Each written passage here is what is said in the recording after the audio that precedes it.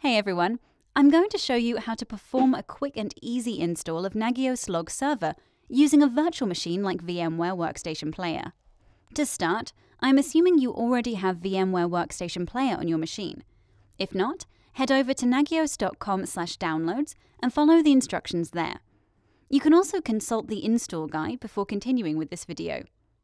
Once you've got VMware Workstation Player up and running, these are the next steps you'll take. So let's get started.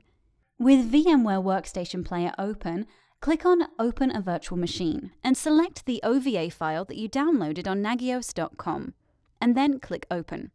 Now's your chance to name the virtual machine. We'll name ours Nagios Log Server Test. Once you've named the VM, go ahead and click Import. This will take a minute or so to load up.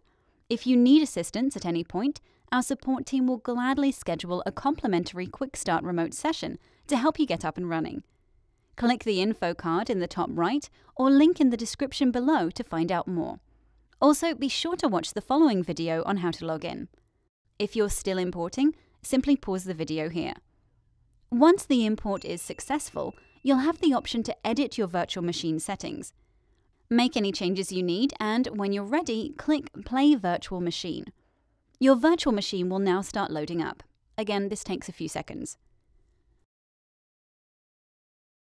Now that the virtual machine is done loading, all you need to do is use the default username and password to log in.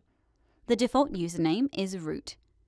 Click into the VM and type root for the username and hit enter on your keyboard. Next, type Nagios LS as the password. Note that you won't see it when typing it in the VM. Hit Enter on your keyboard when done. You've now logged into Nagios Log Server using a virtual machine. In the following video, we'll show you how to access Log Server in your web browser. Thanks for watching, and stay tuned for more great resources from Nagios.